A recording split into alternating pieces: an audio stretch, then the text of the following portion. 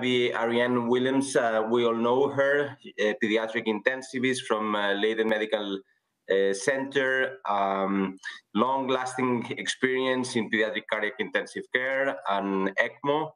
And I think that uh, she will give us a great talk on a topic that we all are very, very interested on.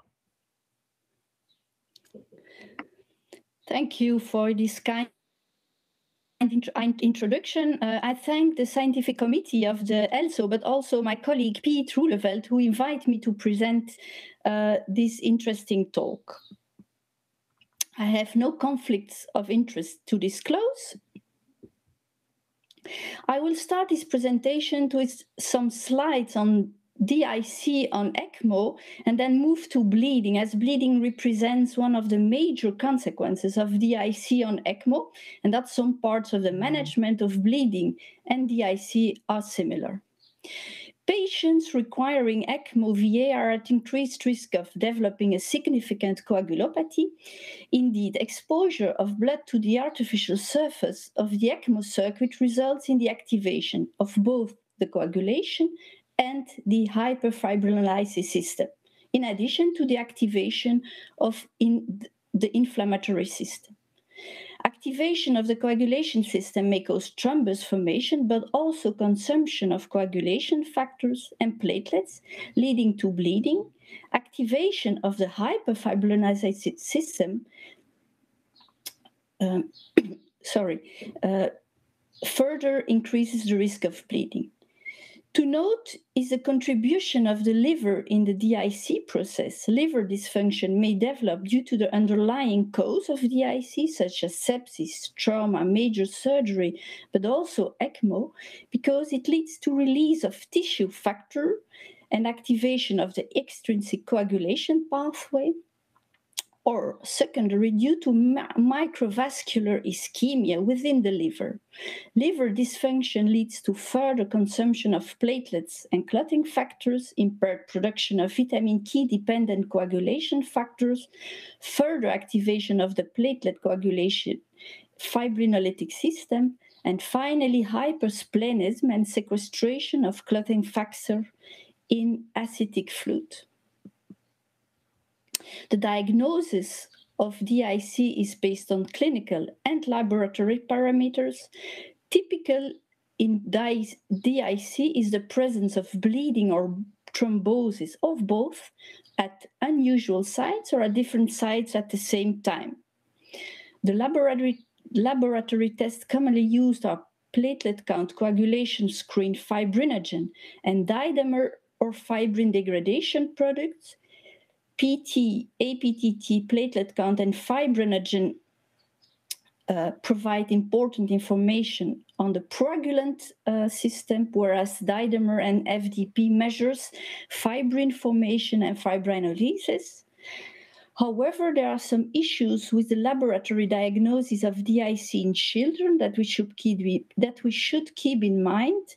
First, standardization of reference ranges is difficult in children, and second, low levels of normal physiological coagulation factors in neonates and small children may be misinterpreted as abnormal results.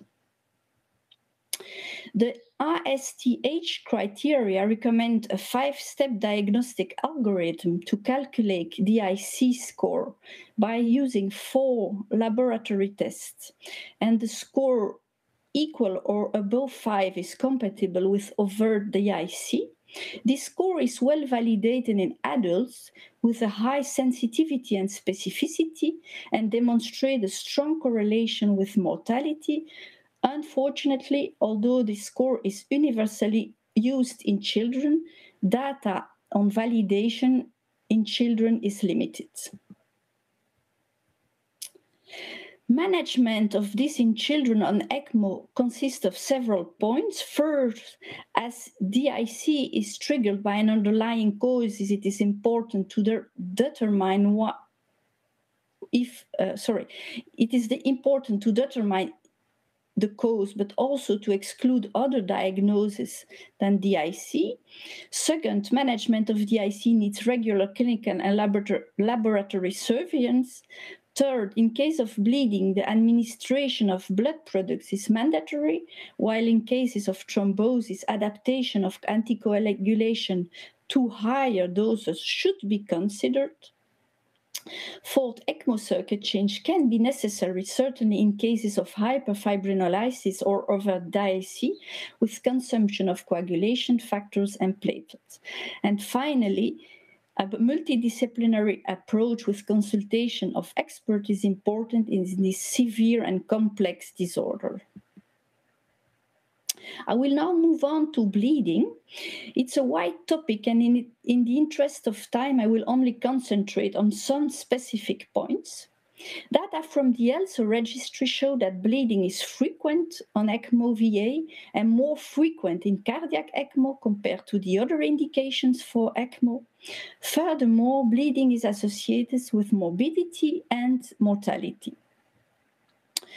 Currently, there is no validated bleeding scale for critically ill children on ECMO, and it is unknown when bleeding should be considered clinically significant.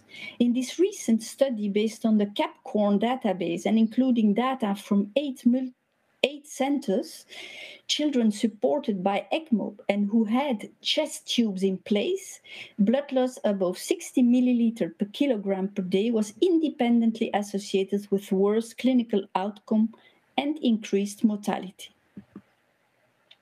As mentioned earlier, cardiac ECMO is a risk factor for bleeding. Other risk factors for bleeding are the presence of bleeding before ECMO, the presence of multiple organ dysfunction, surgery before ECMO, ECMO VA, and central cannulation. Two recent studies looked at the hemostatic parameters that may be associated with increased risk of bleeding on ECMO. In the first study, who is monocentric, bleeding patients presented lower platelets and longer prothrombin times. In the second multicenter study, based on the CAPCORN database, only a fibrinogen level above uh, below sorry um, 120 milligrams per deciliter was associated with increased blood loss as seen is in critically ill children not on ECMO, there is no clear association between coagulation parameters, platelets, and fibrinogen and the risk of bleeding unless those values are very abnormal. It is therefore difficult to predict bleeding using only hemostatic parameters. Management of bleeding in children on ECMO comprises two steps that I will discuss in the follow slides following slides. The first one is the prevention of bleeding. The second one, the assessment of the severity and the cause of bleeding. And finally, the treatment of bleeding itself. The best manner to manage bleeding and its disastrous effect on morbidity and mortality is to prevent its occurrence. The first issue I would like to discuss is cannulation. As presented earlier, central cannulation is a risk factor for bleeding. This is confirmed in the study presented on this slide. It's an adult study where you see that central cannulation compared to peripheral cannulation significantly increases the odds of bleeding, the need for surgical resternotomy, exposure to massive transfusion of red cells, and mortality. We all know that central cannulation has some advantages, such as the possibility to use larger cannulas and therefore run higher ECMO flows, and the ease of the approach in children after cardiotomy. However, the, advantage, the advantages of central cannulation should always be, always be balanced among the risk of bleeding in each patient. Some studies show also that percutaneous cannulation could be better than surgical cut down. And finally, in neonates, two older studies showed the benefit of using fibrin sealant or glue at the cannulation site to reduce cannula site bleeding, who is a frequent complication in children on ECMO. Second, to prevent bleeding on ECMO, it is important to avoid unnecessary procedures that contribute to bleeding, and if those are needed, that the approach with the lowest risk of bleeding is chosen. However, it is important not to postpone diagnostic or interventional procedures that may impact diagnosis, treatment, and or prognosis. In the presented study, cardiac catheterization on ECMO was feasible without severe bleeding and complications. Furthermore, cardiac catheterizations helped in the diagnosis, but also in the treatment of some residual lesions and allowed successful weaning in some patients. The second cornerstone of management of bleeding in cardiac ECMO is the assessment of bleeding. It is important to uh, diagnose the pattern of the bleeding and to make a difference because be, between a localized versus a generalized bleeding, as this can have implication for the treatment. One of the reasons why children are bleeding on ECMO is because they are anticoagulated. It is therefore mandatory to evaluate the degree of anticoagulation. In this context, it is probably indicated to use a combination of tests. Finally, one should also determine if there is an underlying coagulopathy explaining the excessive loss of blood. Although there are some limits to standard coagulation tests platelet and fibrinogen to describe a coagulopathy, those are recommended in each patient that is bleeding. Some preliminary data in neonates and children on VA ECMO show that viscoelastic point of care tests not only can help in the diagnosis of a coagulopathy and to guide the administration of blood products, but also in the evaluation of anticoagulation. Their use could decrease the incidence of bleeding and the utilization of blood products. However, this, those conclusions are based on small studies and should also be confirmed in larger patient populations. The last cornerstone of the, of the management of bleeding on ECMO is the management, management of the bleeding itself. First, it is mandatory to seek for early surgical consult. Definitely in bleeding surrounding an invasive procedure. I personally cannot always convince the surgeon at my own hospital, but it is important, important to keep in mind that you cannot treat a surgical bleeding with blood products. The other different points presented on this slide will be addressed in the final minutes of my talk. Like in adults, there exists some evidence in children that implementation of an institutional protocol for managing patient at increased risk of bleeding or with bleeding is associated with decreased incidence of bleeding, but also thrombosis. The majority of the stud- studies in children address the implementation of such protocol in post-cardiotomy patients, and those conclusions should therefore be confirmed in other patient populations.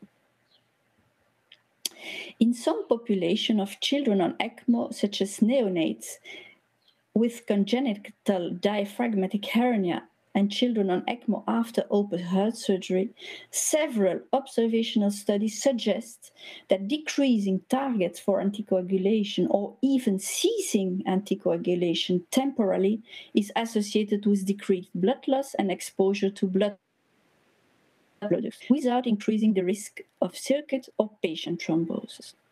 In post CPB, protamine reversal at separation of CPB can be considered.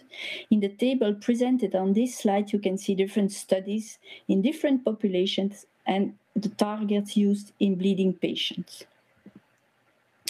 Antifibrinolytics and hemostatic agents can also be considered.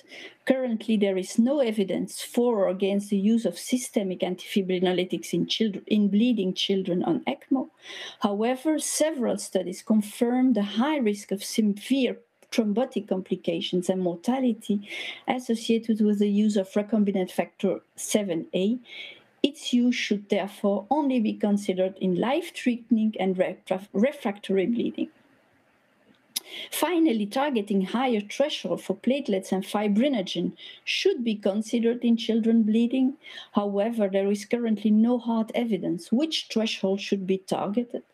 Low quality studies suggest maintaining platelets above 75 to 100,000 and fibrinogen above 100 to 150 milligrams per deciliter. As mentioned by Mela Bembea yesterday in her talk, those topics should be priorities for research in the next few years. In summary, the management of bleeding is based on the prevention of bleeding, the assessment and evaluation of anticoagulation and possible underlying coagulopathy, coagulopathy, and finally the treatment of the bleeding itself that should be based on an institutional protocol, including consideration for decreasing or ceasing temporary anticoagulation, the use of antifibrinolytics and hemostatic agents, and targeting higher transfusion threshold after surgical control of the bleeding. In a few months, the pediatric ECMO anticoagulation uh, collaborative will publish guidelines based on expert consensus for the management of anticoagulation, the use of antifibrinolytics and hemostatic agents, and the transfusion of blood products in children on ECMO. Those will not answer all our questions, but open the way to research priorities in this topic. I thank you for your attention. Well, Ariane, that was fantastic. Thank you so much for your talk. I think that we we will have time uh, during the Q&A to discuss uh, all these questions that we all have about a anticoagulation. Um, we will move to the the next lecture. Um, it is a, a pleasure to introduce